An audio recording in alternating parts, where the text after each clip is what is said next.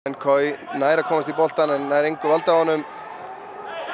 Brotið á Arnarm á leikurinn látin halda áfram. Samorano inn á Tryggva Tryggvi að koma sér í skotfæri og vel varið hjá Vladan Djokatovic Arnar Már grimmur og grimmastur náði boltanum Samorano heiður hann hér.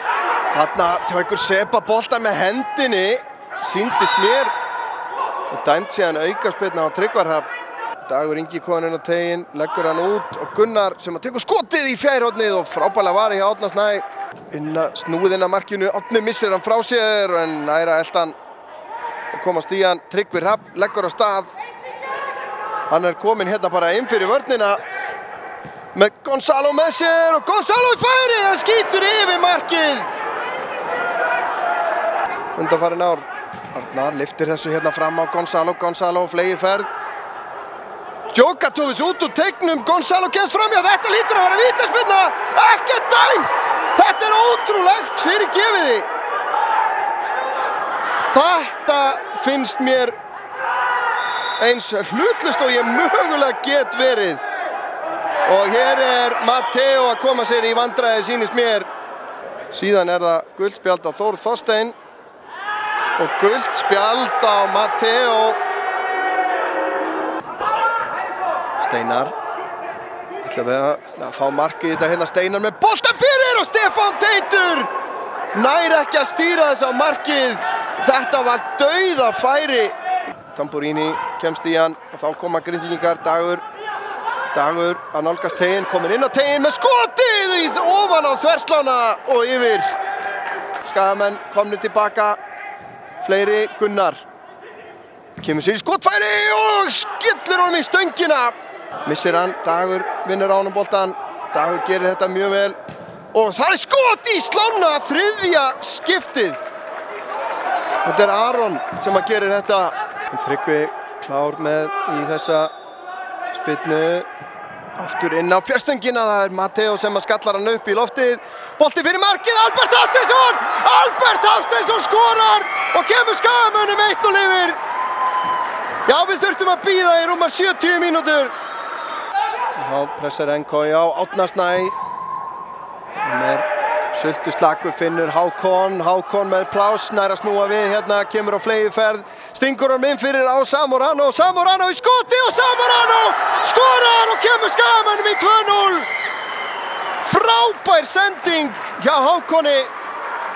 Hárnákvæm og skotið frábært hjá Gonzalo. Óttar liftir fram á við í áttina Samorano. Samorano tekur hann með sér og tekur nær skotinu. Vel gert eða vandaði kraft í skotið þarna með vinstri. Kemur spinnan inn á fjárstöngina Óttar skallar frá. Hákon brotið á honum og þarna er maður á gulu spjaldi að stoppa hraða sók það er með ólíkindum að þetta sé ekki bara það er engin hagnaður hérna Ég byggst afsökunar á því að ég ætla að fara að hafa skoðanir á dóngjastlunni en það er bara stundum getur maður ekki annað. Núna hlýtur hann að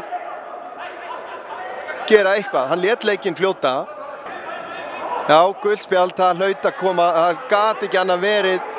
Raut spjald. Alexander Veigar, klár í slægin.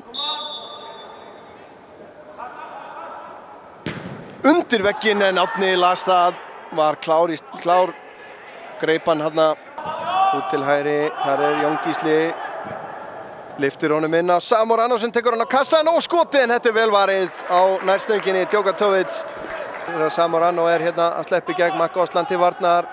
Samorano í skotið á nærstungina og það, þessi vann á leðinni í stöngina en hér er flautað til leiksloka. 2-0 sigur Skagamanna staðreind þeir eru búin að tryggja sig í undan úslitinn í lengjubikar kalla A-deild. Til hafingjum með sigurinn, þetta var, þetta var erfiðu leikur og erfi, erfitt að ná í sigur.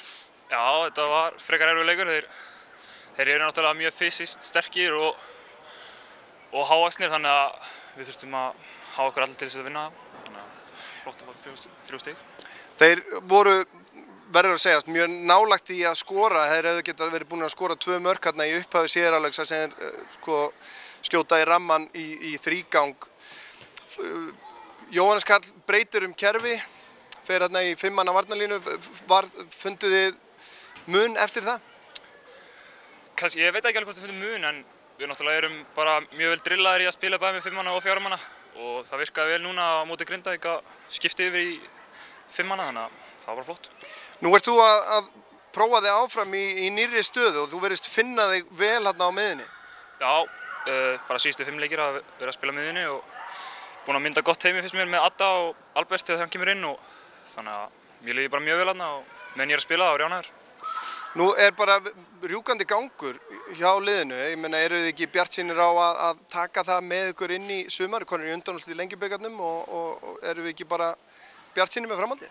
Jú, það þýðir ekkert annað en að vera björnsýndu framhaldið en það þýðir ekkert að stoppa núna með að vinna ykkur lengi byggasleiki þannig að við ætlum að halda áfram. Takk fyrir spjalli.